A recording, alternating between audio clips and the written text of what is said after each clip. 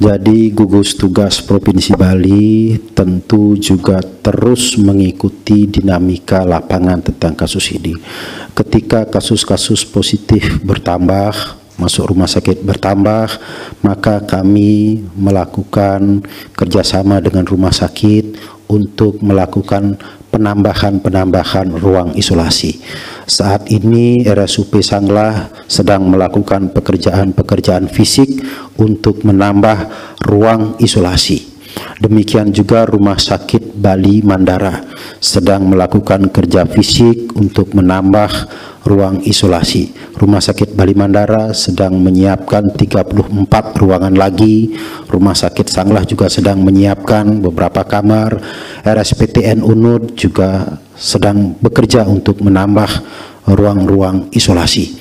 Jadi sudah kita antisipasi dan tadi siang ada tadi pagi Bapak Gubernur selaku Ketua Satgas telah mengadakan rapat dengan gugus tugas untuk membicarakan itu.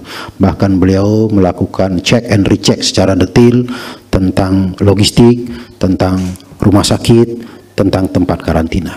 Begitu juga kalau tadi saya laporkan tentang uh, ruang isolasi atau ruang perawatan, maka untuk tempat karantina juga kami melakukan penambahan-penambahan, terutama sekali untuk mengakomodasi uh, hasil dari rapid test tahap 2 yang dilakukan oleh kabupaten kota berangkat dari fakta-fakta yang kami dapatkan mulai hari ini.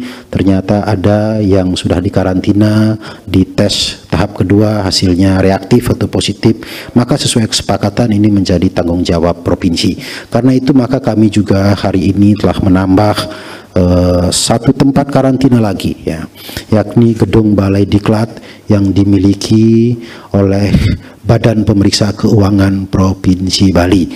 Itu kami sudah mendapatkan confirm persetujuan mulai besok kita siapkan sebagai tempat karantina baru. Jadi kita akan mengupdate terus kebijakan kita, langkah-langkah kita sebagai penyesuaian terhadap uh, dinamika kasus ini di lapangan.